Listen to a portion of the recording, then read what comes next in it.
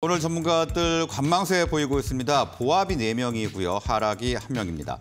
먼저 하이투자증권 어, 강북 WM센터 이창환 영업부장 하락장 예상하면서 현대로템에 주목하고 있고요. 어, 유진투자증권 서울 WM센터 김진규 선임 매니저 보합권장 예상하면서 삼성 SDI를 관심주로 꼽았습니다. 다울투자증권의 이성웅 차장 역시 보합권장 예상하면서 삼성 바이오로직스에 관심을 가지고 있습니다. 대한투자그룹의 현상출 본부장, 보합권 장의 한양 디지텍 관심주로 꼽았고요. 신한투자증권의 이호석 차장, 보합권 장 예상하면서 한국전자금융에 관심을 가지고 있습니다. 자, 그러면 두 분과 화상으로 이야기 나눠보도록 하겠습니다. 하이투자증권 강북 WM센터 이창환 영업부장, 유진투자증권 서울 WM센터 김진규 선임 매니저 연결되어 있습니다. 자, 두 분 나와 계십니까? 네, 안녕하세요. 네, 안녕하십니까? 네, 안녕하십니까? 자, 먼저 이창환 부장님, 2,700선 네. 접근을 했습니다. 오늘 어떤 전략 준비하면 좋을까요? 어, 그 1월을 이어서 2월 달도 이제 그 10회가 다소 이제 컨센을 상회하면서 시장이 이제 불확실성이 나타날 것 같기도 했는데 시장이 이를 잘 소화를 해냈고요. 어, 그저께 같은 경우 미등시가 반등 나왔고 어제 같은 경우에는 기술주가 약세를 보였지만은 그 에너지주들이 강세 나타나면서 나스닥은 하락했지만 그 다우지수는 올라가는 그런 모습이 나타나서 국내 지수도 좀 비슷한 흐름이 나타날지 아닐까 싶고요. 기술주의 좀 비중이 높은 국내 증시 입장에서는 조금 어제 이제 나스닥 하락은 다소 좀 부담되는 것이고 오늘 선물옵션 동시반기 같은 경우는 어제 일부 좀 어, 시세가 좀 반영된 것 같습니다. 다만 이제 어, 선물옵션 3월달 선물옵션 동시반기이기 때문에 여기에 따라서 장중 변동성은 있, 기 때문에 최근 시장의 지수가 상승할 때는 상승 종목수랑 하락 종목수 거의 비슷한데 하락할 때 하락 종목수가 압도적으로 많거든요. 다만 이제 최근에 이제 코닥 쪽에서 하락 종목수라든가 그 매도의 강도가 좀 줄어들고 있는 거는 어, 기간의 매도세가 다소 좀 주춤해지고 어, 좀 누그러지고 있기 때문인 것 같고 최근에 시장이 이제 고가권에 있는 종목들 추격할 거에 거의 잘 물립니다. 그래서 추격 매수 잘 조심하시면 좋을 것 같고요. 코닥 증시 같은 경우에 최근 바이오 쪽에서 알테오지라든가 HLB 등의 어, 그 지수의 연관성이 높아지면서 이들의 움직임에 따라 지수가 변동성이 커지는 모습이고 어제 HLB 같은 경우에 그런 모습이 나타났고 또 밸류 관련 프로그램 관련 종목들도 3월 주총에 앞두고 나서 최근에 강세 모습들은 이게 이제 그, 그, 그 순환매 굉장히 빠르게 좀 나타나고 있다는 것이고요. 인터 배터리 이후에 배터리 관련 종목들에 대한 관련 어, 관심도가 나타나는데 2차 전지가 반등하면서 이제 하락 종목수 감소하기 시작했다 이렇게 보시면 좋을 것 같고 어제 그, 그 공매 어, 금감원 주최 공매 토론에 따라서 어, LP 공매도 주가 교란 여, 그 행위 여부에 대한 조사라든가 어, 다음 달에 이제 공매도 전산화 발표에 대해서 주목을 할 필요 있어서 공매도 정보 많은 종목들도 한번 주목해 볼 필요 있을 것 같습니다. 네, 자 어제 2차 전지 섹터 반등에 성공을 했고요. 아, 은행주도 지금 ELS 관련이 됐지만 아, 상승세를 이어가고 있습니다. 그리고 공매도 조사와 관련해서 잔고 높은 종목 주목할 필요가 있다 분석을 해주셨습니다. 자 다음은 김준기 매니저님. 자 오늘 어떤 전략 준비하면 좋을까요? 어, 네, 코스피 같은 경우에는 이제 증권주가 어제 상당히 좀 어, 기업 가치 제고 방안 발표로 인해서 어, 좀 높은 어, 증가율을 좀 보였고요. 어, 은행주와 증권주 역시 신고가 돌파하는 것도 많이 나오고 있고, 어, 뭐 CPI가 좀 나쁘게 나왔음에도 불구하고 이제 시장이 소화하게 되면서 어, 전반적으로 코스피는 어제 좀 상승 마감했던 것 같고요.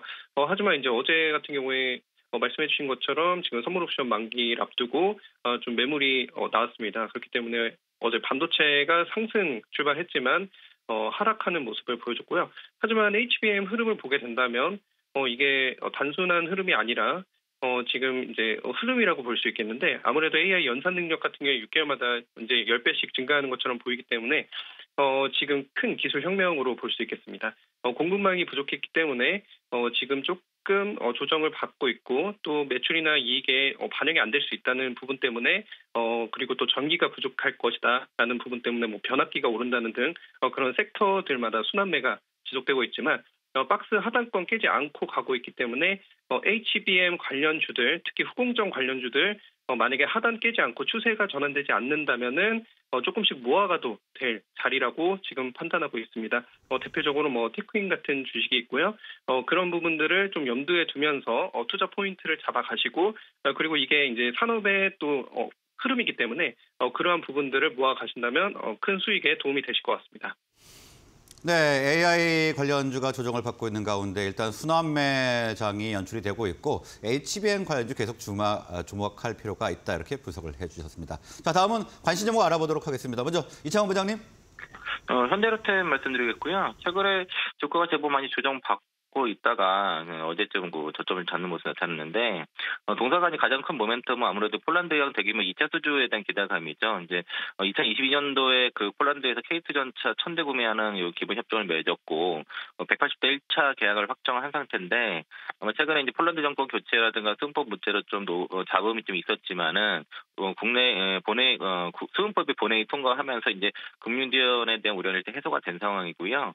폴란드 입장에서는 지금 K2 전차 외에는 지금 마땅히 지금 대안이 없습니다. 그래서 이제 그런 어, 협정을 파기할 가능성이 상당히 제한적으로 봐서 어, 어제 이제 그 상상인증권에서 폴란드 2차 계약에 대해서 물량 규모가 7조 원 이상 어, 계약이 이어질 거 이루, 이루어질 거다라고 지금 예측을 하고 있고 폴란드 외에도 루, 루마니아라든가 이집트, 인도 쪽에서의 다수의 수주 파이프라인을 동사가 가지고 있다는 것도 좀 특징적이고 이제 다른 사업 중에서 특히 에코플랜트 쪽의 수주 잔고가 그 최근에 많이 올라가면서 올해 매출도 한 5천 5천억 정도의 매출은 나올 것 같다 라고 좀 보고 있거든요. 또 어제 뉴스 같은 경우가 동사가 이제 그 전기차 모터코어용 그 적층 프레스를 자체 개발하면서 이걸 좀 선보였고 2차 전지 캔을 만드는 프레스도 좀 만들어 어, 선보여서 사업 다각화도 지금 진행되고 있는 측면에서 주가 저점에서 한번 물어보시면 좋을 것 같습니다. 네, 자 현대로템 지금 폴란드와 2차 계약 수주와 관련된 모멘텀으로 좀 주목을 받고 있는데요. 자, 그러면 가격 전략 간단하게 좀 볼까요? 네, 어제 이제 3만 원 잠깐 이탈했다가 뭐 3만 원 다시 올라갔는데 3만 원 초반 정도 보시겠고요. 증권사 목표까지 제가 다 리포트 잘 체크해 보니까 한 3만 4천에서 4만 1천 원 정도 나왔으니까요. 어, 1차 3만 4천 원, 2차 4만 원 정도 잡고서 대응하시면 좋을 것 같습니다. 네, 자 현대로템 3만 4천 원 1차 목표가 제시를 해주셨습니다. 자 다음은 김진기 매니저님.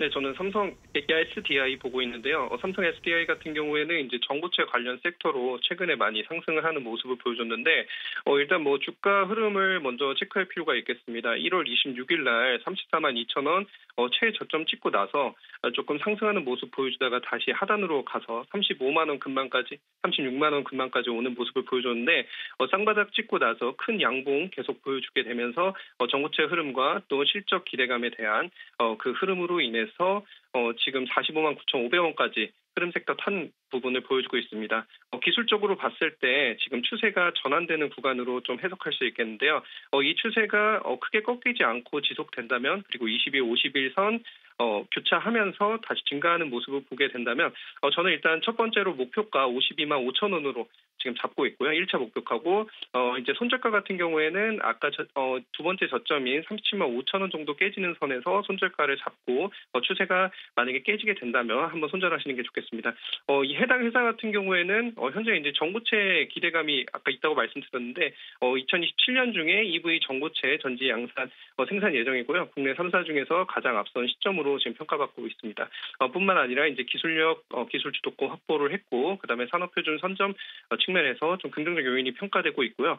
어, 아무래도 이제 전기차 같은 경우에 수요가 굉장히 줄어들고 있는 상황인데 어, 해당 회사 같은 경우에 배터리 사용량 점유율 같은 경우에는 어, 현재 상승 추세로 판단되고 있습니다. 그렇기 때문에 어, 생각보다 긍정적인 면모를 어, 다시 주목받고 있고 어, 미국 판매 같은 경우에 어, 국내 전기차 같은 경우에 상당히 떨어지는 모습 보여주고 있는데 미국 판매가 조금 어, 호조되고 있는 상황이기 때문에 어, 이 부분에서 앞으로 삼성 SDI가 좀 좋아질 거다.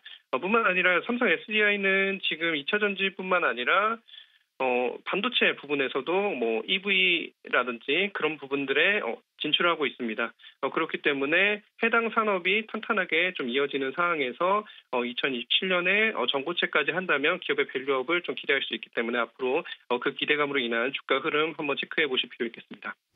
네, 삼성 SDI 오늘 관심종으로 분석을 해 주셨는데요. 미국의 판매가 호조가 지속되는 점 그리고 2027년에 전고체 전지를 양산에 들어가는 점을 포인트로 짚어주셨습니다. 그리고 목표가는 52만 5천 원 제시를 해주셨습니다. 자, 오늘 말씀 여기까지 듣겠습니다. 두 분 수고하셨습니다. 네, 고맙습니다. 네, 감사합니다.